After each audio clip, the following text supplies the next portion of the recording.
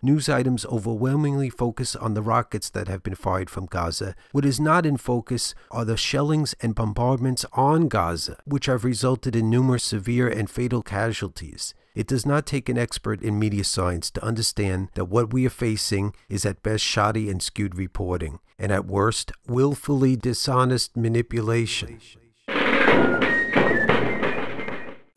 Military attacks and violence in the Gaza Strip and Israel have resulted at this point in about 20 deaths, most of them Palestinians.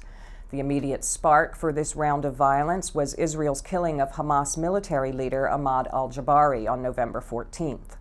But although CNN's Fred Pleitgen claimed that it's almost obsolete to try to lay blame on anyone, the fact is, corporate media do lay blame, with timelines that almost invariably stress that Israel is responding to violent attacks by Palestinians. It was no surprise that the first sentence of the front page New York Times article, November 14th, states that the Israeli assault came, quote, after persistent Palestinian rocket fire, close quote.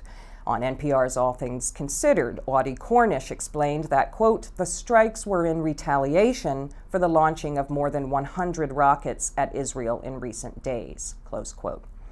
A timeline on the website Electronic Intifada points out events that corporate press mostly ignore. Israeli forces killed an unarmed man in Gaza on November 4th and a 13 year old boy on November 8th.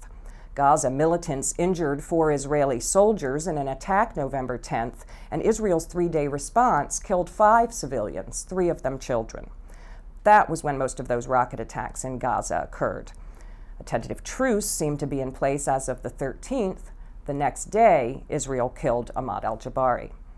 There might be a number of ways to present that information, but sadly, there's little mystery about how the U.S. press will do it. Bias and dishonesty with respect to the oppression of Palestinians is nothing new in Western media and has been widely documented. Israel continues its crimes against humanity with full acquiescence and financial, military, and moral support from our governments, the US, Canada, and the EU. The lack of widespread public outrage at these crimes is a direct consequence of the systematic way in which the facts are withheld and or of the skewed way these crimes are portrayed. We wish to express our outrage at the reprehensible media coverage of these acts in the mainstream corporate media. We call on journalists around the world working for corporate media outlets to refuse to be instruments of this systematic policy of disguise.